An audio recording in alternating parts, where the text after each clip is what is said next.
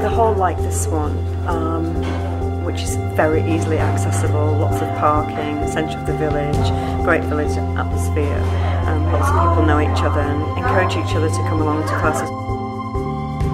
It's well used, it's social, and it's not expensive.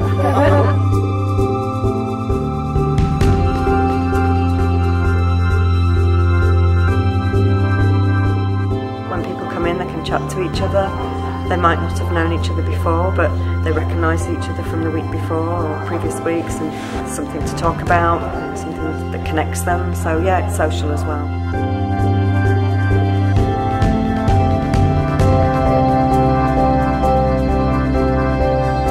They would have met in the shop and the post office.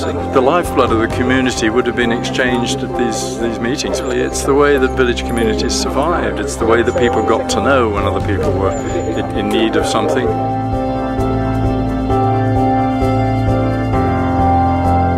We've set up Pilates and Fitsteps in Freckenham and we're also setting up a strength and balance class which is starting on Thursday which I'm sure some of you have probably seen flyers and James been spreading the word all over the village I think. Providing a taster is really really useful because we get a, an overall picture of the different levels and the abilities. It's getting people involved, we're meeting new people, new people are seeing what we do at the hall or come to other events. There's no point in having the hall sitting here empty, it's just great to have it being used. It's just nice something to do all together, isn't it? Yeah.